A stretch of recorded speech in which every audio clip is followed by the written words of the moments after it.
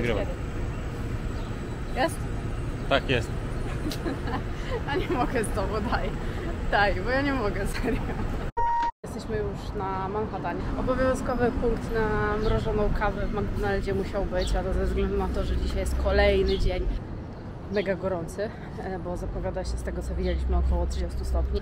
E, Teraz zmierzamy w kierunku Little Italy. E, Następnie chcemy zobaczyć Chinatown, Brooklyn Bridge i ten słynny punkt Dumbo. Także plan na dzisiaj jest. Mam nadzieję, że wszystko z naszej listy zostanie zrealizowane. No i co? Zapraszam Was do oglądania dzisiejszego odcinka.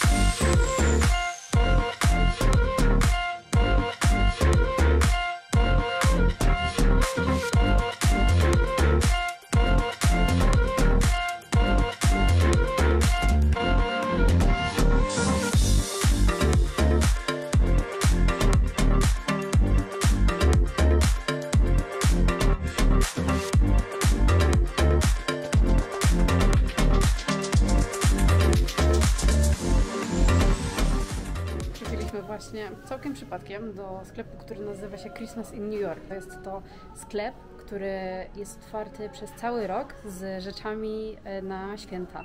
Jest tu wszystko.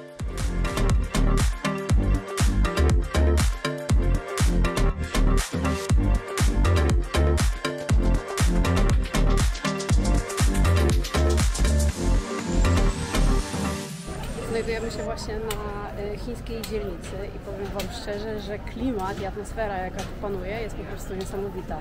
E, tak jak byliśmy na przykład y, we włoskiej dzielnicy, to wiadomo, były tam różne knajpki, kawiarnie. E, tak, tak jakoś za bardzo nie czułam tego klimatu włoskiego. Natomiast tutaj w tej chińskiej dzielnicy czuję się jakbym była naprawdę w e, Chinach.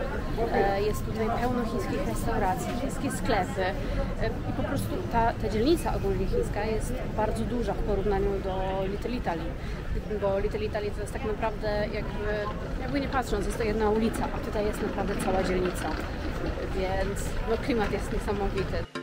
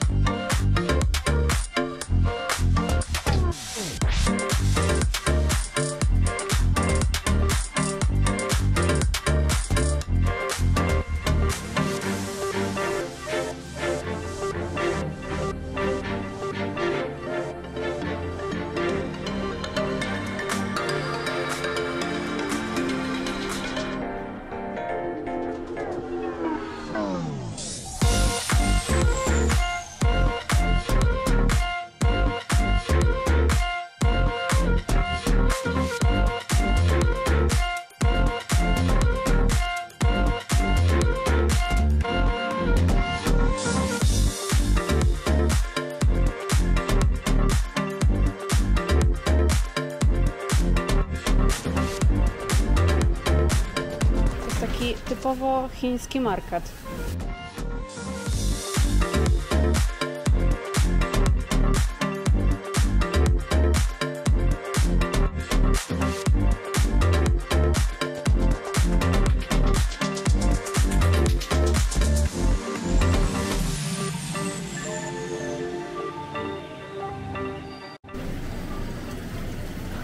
Świeże ryby. Owoce morza. Jakieś sosy sojowe.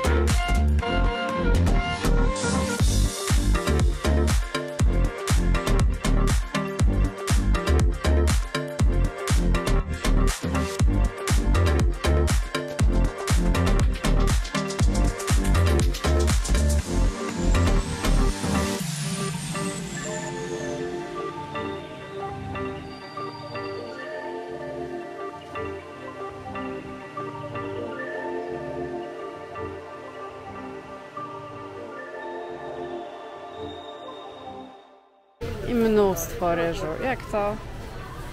Jak to na Chińczyków przystało? Jedzą bardzo dużo ryżu. I tutaj nie ma w kilogramowych e, opakowaniach czy w dwukilogramowych. To jest od razu 10-20 kilo.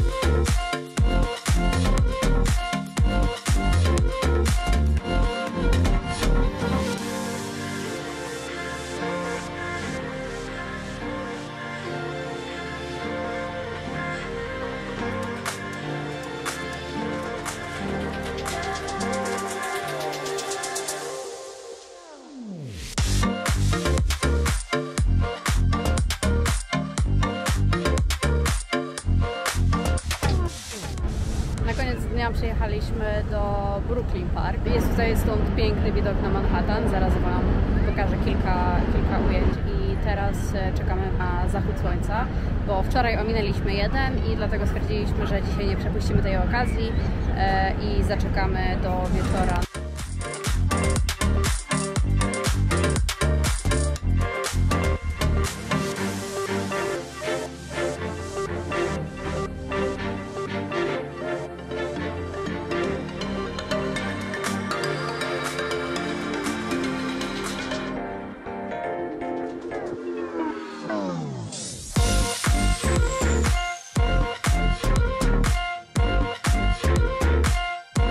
Música